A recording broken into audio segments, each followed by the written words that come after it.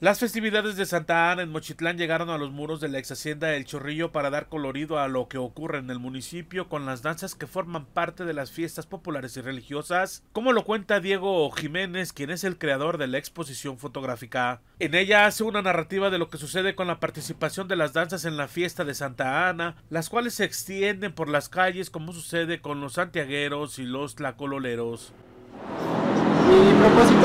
Y por el cual este, quise meterla fue como darle una visibilidad a Mochitlán con sus tradiciones porque considero que Mochitlán tiene muchas tradiciones que pueden ser como muy muy enriquecedores para los turistas, para las demás personas y así como traer también este, que el pueblo tenga como otra, otro ingreso económico, ¿no? que en este caso sería más.